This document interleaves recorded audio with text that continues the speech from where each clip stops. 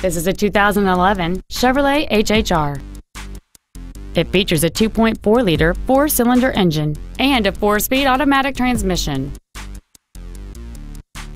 Its top features include a low tire pressure indicator, traction control and stability control systems, chrome wheels, and satellite radio.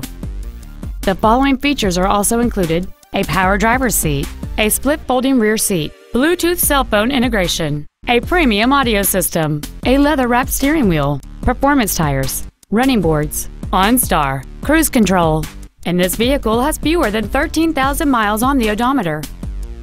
With an EPA estimated rating of 30 miles per gallon on the highway, this automobile is clearly a fuel-efficient choice.